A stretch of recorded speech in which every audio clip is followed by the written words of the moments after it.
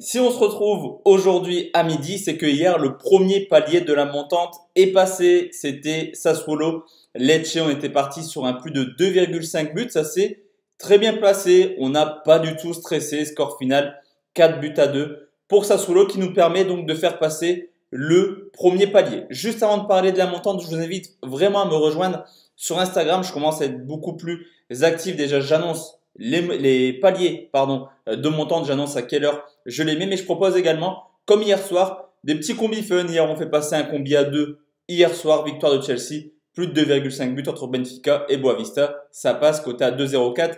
Instagram, juste en dessous dans la description, vous avez également la possibilité de discuter avec moi. Et si vous voulez rejoindre le groupe Telegram, il est également accessible juste en dessous dans la description. Vous cliquez dessus, vous faites rejoindre et vous avez accès à tous les pronostics gratuitement de la team parieur.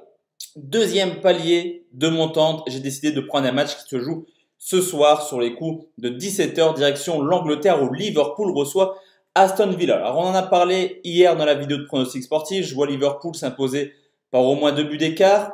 On peut regarder également la composition d'équipe. Alors certes, Klopp fait tourner, composition probable, ça fait tourner mais il y a quand même une belle ossature, je pense à Van Dijk, Gomez, Fabinho, Mané, Firmino, c'est pas non plus le 11 qui avait perdu justement à Aston Villa 5-0 en coupe. C'est une équipe plutôt sérieuse. Qui jouera ce soir? À domicile, je vous l'ai dit, Liverpool 16 matchs, 16 victoires, meilleure attaque, 44 buts marqués. Au contraire d'Aston Villa qui à l'extérieur a quand même pas mal de difficultés cette année. D'ailleurs, Aston Villa est 18e, ils vont lutter pour la relégation jusqu'à la fin de saison. À l'extérieur, déjà 11 défaites, mais également la plus mauvaise défense avec déjà 33 buts encaissés. De plus, Aston Villa sur les 9 derniers matchs, c'est 7 défaites, 2 matchs nuls. Vous me direz, Liverpool a également perdu 4-0 contre Manchester City.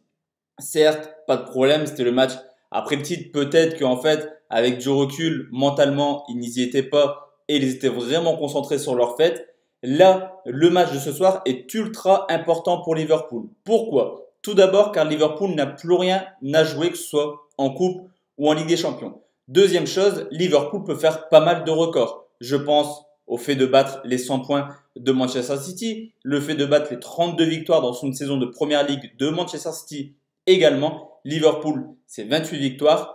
Il reste 6 matchs. S'ils remportent tous leurs matchs, ils battent le record de nombre de victoires avec 34 victoires, mais également le nombre de points. Liverpool peut, en cas de perfect en fin de saison, prendre 104 points.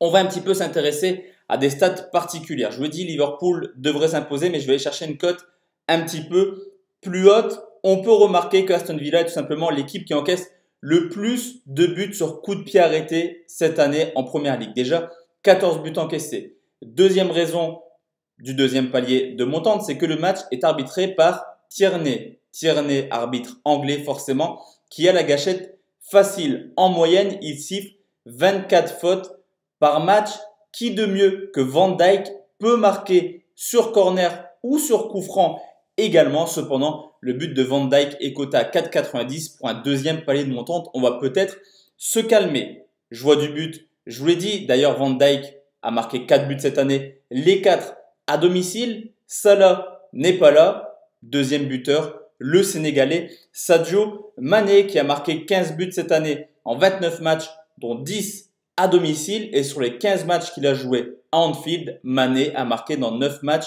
différents. Vous l'aurez compris, je pars du principe que Liverpool va s'imposer. On voit également pas mal de pénalties dernièrement quand on regarde les rencontres d'hier, pénalty à Chelsea, à la Juventus, à Manchester, mais également à la Lazio. Avec la VAR, on a de plus en plus souvent des pénalties. Là, le tireur habituel n'est pas là. Ça devrait être ou Mané ou Firmino qui tire les pénalties. En tout cas, je vois Liverpool s'imposer et le pronostic que je vous propose dans ce deuxième palier de montante, c'est tout simplement le but de Mané ou de Van Dijk qui est tout de même côté 1,70.